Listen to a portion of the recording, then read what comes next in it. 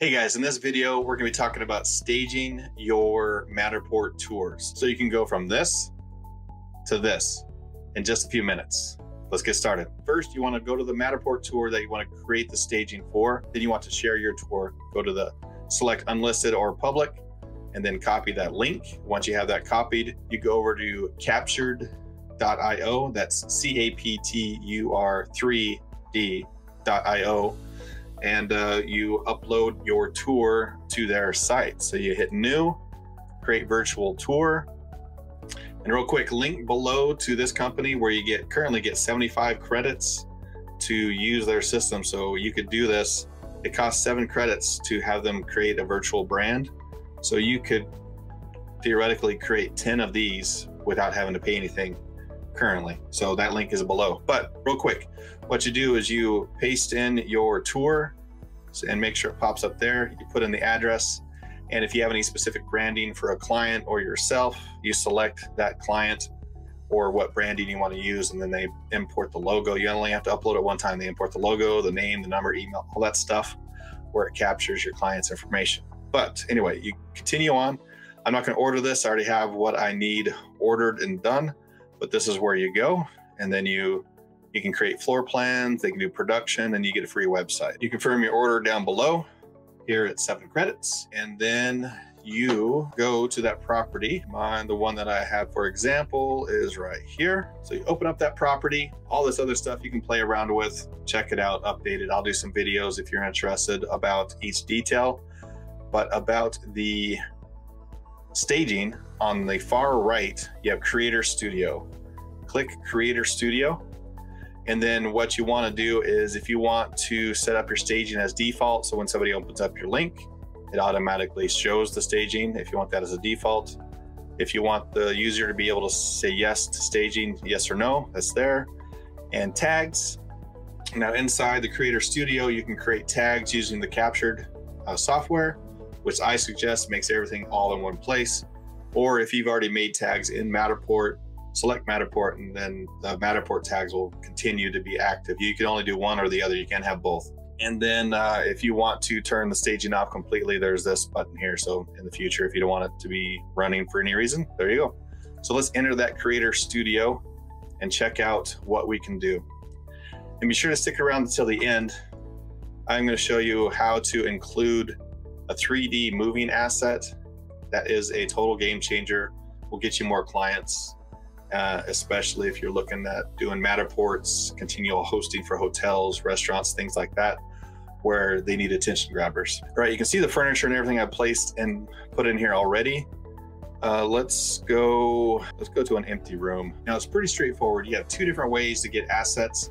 You can get the assets directly from CAPTUR3D, which is growing constantly, or you can get assets from Sketchfab, which is linked directly. And Sketchfab is a 3D uh, mega giant where you can get hundreds of thousands of 3D objects for free to place inside virtual tours, 3D areas. It is a huge, it's a huge list of things you can find. So here on the top left are 3D, are CAPTUR3D assets, and then Sketchfab assets. Real quick, we will just show you the CAPTUR3D assets, different categories to make it easy to find something if you're in the kitchen, bedroom, appliances, vehicles, if you're putting it in the garage. Y'all click on that real quick. You got a couple different cars here, sports car that you can get, but right now we are in a bedroom. So let's find a bed to put in there. So we click on bedroom and uh, it's a guest room. So I want to put something simple in here, single bed because I want to put a few things in here. So I select the single bed and then whatever flat service is available, it will put it there. So if you put your bed there, it'll be up on the side. So make sure you click in the right spot and then you find close to where you want to put it. Select, not too bad. You can play around with it. I really think that's ugly, so I am not going to put that in there. Let's choose a different bed. Oh, that one looks good there. Let's choose this single bed. That one's lining up a little bit better. Let's put it in the middle. Select. For some reason, it moved me when I went there, so I want to go back.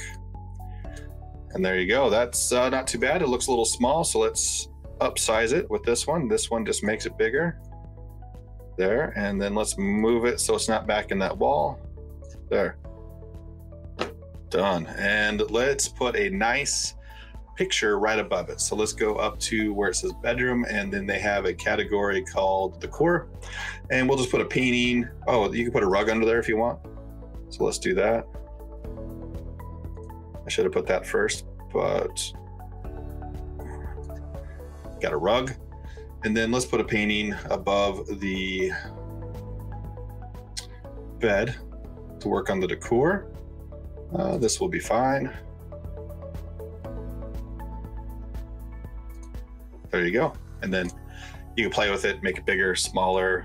You get the idea. Uh, let's go back to the bedroom, put some nightstand here. I am not an interior designer, so don't judge me. But that does look pretty good. Simple. How simple is that? So the, the, the awesome thing is we could have turned that carpet around so it makes more sense. But everything stays in position while you move around into the different parts of the house. You still see the bed. You still see the frame. Like I said, the this is a game changer enough. But what if you could put moving people, moving objects, animals inside your tour? So those are all the assets in CAPTUR3D. But inside Sketchfab, you have hundreds of thousands, if not millions more of options of moving objects and uh, things you can use. I know there's one that fits perfectly in this area. It's uh, the Sophia one. Uh, I put this, this was a Sketchfab. This grill right here was a Sketchfab edition. I, I size that pan and cooking stuff to there. But there's a Sophia that I wanted to put on this side of the counter so it looks like somebody's there cooking, somebody to talk to. Um, and again, there's hundreds of different uh, choices you have on what you want to put. But you can see the direction of the box. It goes into the counter and the island. So when I select it, if I just leave her here, she'll eventually walk into the counter, walk into the, the island one way or the other. So I definitely need to turn her so she doesn't walk that way. But I also want to turn her so she uh, is facing the right way, like she's talking to somebody.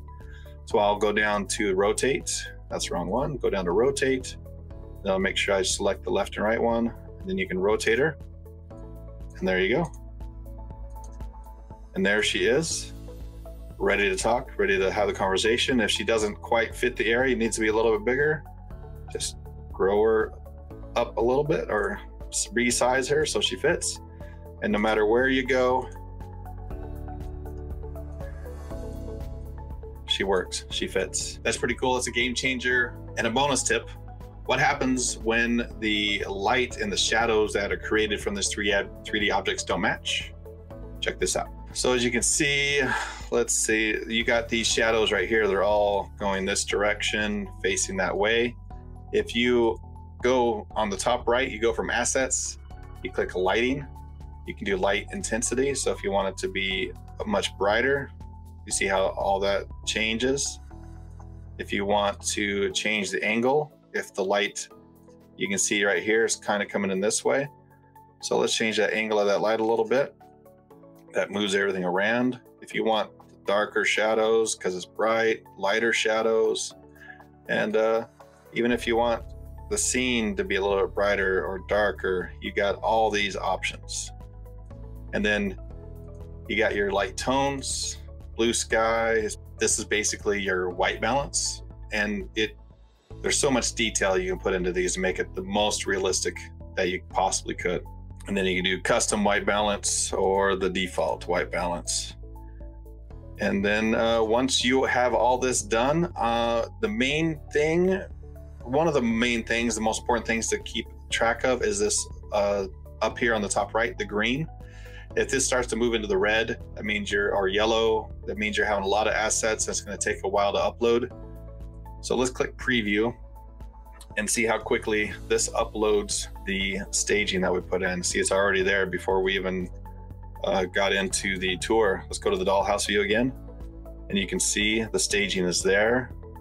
Each of the rooms, let's go floor plan view. And all of our staging that we put in is in the floor plan view. It's in the dollhouse view. It's all over the place game changer. Awesome. And the preview is looking pretty good. On the left, they can turn the staging on or off. They can contact your client, which my clients love that feature. And they can uh, navigate by looking at the map, see where it is in the big world. And then you see how it took just a couple seconds for everything to load. If you had a ton of stuff, let's exit that preview. And that was more on the yellow or red, then you might need to remove some stuff, rethink your design, it's easier assets. I'm sure the 3D moving assets are bigger than the other ones. And don't forget your, I forgot to show you the meta tags. Now, if you use their tags on 3D CAPTUR3D, you can link out to different things. Here, I just did the Lowe's where you could get this at, but if you're at a hotel, you could uh, link to their reservation page. Uh, you could either have it go to a pop up like this or to hold another page. Ways to use this service are limitless. I love captur3d.io. Again, the link is below. Comment below different ways you would use this, different ideas. Uh, I, if I think of anything else, I will definitely share with you guys. If you think of something or if you have any questions about the whole process, comment below. Definitely thank you for following along with this this far. Make sure you hit that subscribe button, the like button. I appreciate everybody's uh, attention, time, and I'll see you on the next video. Have a great day.